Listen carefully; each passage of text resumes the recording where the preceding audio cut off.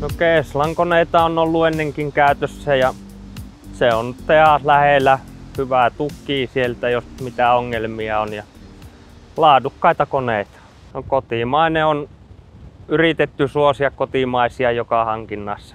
Nosturi on talven puun ajossa, moton perässä ja metsurin puita kesällä. Ajetaan sitten yksityisiin polttopuita, maatilalla paalien ajoa, ojia perataan ja kaikenlaisia nosturihommia.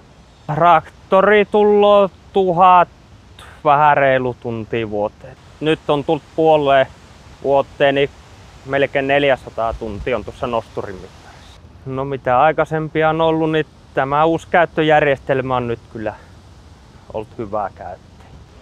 Käyttöjärjestelmänä on uusi Keslan Pro CI käyttöjärjestelmä.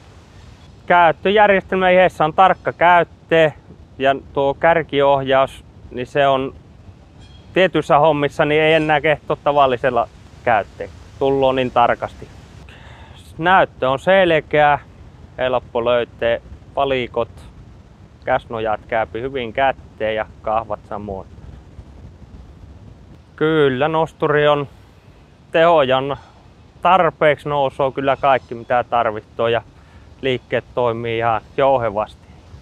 Sylinterien päätyvaimennukset toimii hyvin, ne saa vetää ääriasentoa eikä nykäs eikä kolkas se mihinkään pohjaa mikään. Ja kärkiohjaus on tarkka, helpottaa kuormasta huomattavasti. Siellä on jakeen runkosovitteet traktorissa, se on pultattuna tuonne takapanjo ympärille ja tuonne rungon alle kiinni sovitteet nosturissa. No, nosturi on monikäyttöinen, pystyy tekemään paljon muutakin hommaa, ei tarvi kärriin mukana, vettä voi vaihtaa toisen kärrin muaan siirtoa tai paljon ajoa.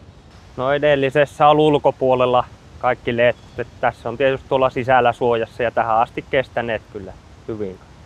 Kyllä, sieltä näkyy, letkutukset ei ole eessä oikein missään vaiheessa huomokkaan niitä letkuja, ne on hyvin sijoitettu sinne muihin puomistojen taakse piiloon. No rasvas on tehty helpoksi, että puomi ylin nippa on tuotu tuohon alas, ei tarvi kiivetä tuonne nosturin päälle. Ja on sua kaikki kerrallaan rasvanne. On helppo huolettava. Kyllä, suosittelen muillekin. Olen ollut erittäin tyytyväinen. Toimii kyllä oikein hyvin.